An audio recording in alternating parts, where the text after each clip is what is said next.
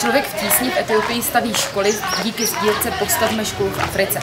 V nedávno otevřené škole Vojminata jsme však mohli také distribuovat školní pomůcky. Školní pomůcky jsou hrazeny ze skutečného dárku a do skutečného dárku je přispíváno tím, že například si zakoupíte tady tento certifikát. A díky právě těmto certifikátům jsme mohli do Vojninaty distribuovat více než 200 školních pomůcek, učebnice, sešity a tak dále. Děkujeme vám za koupi těchto certifikátů a za to, že jste přispěli do vybavení školy ve Vojninatě. Pomáháte tím zvyšovat kvalitu vzdělávání v Etiopii. Děkujeme.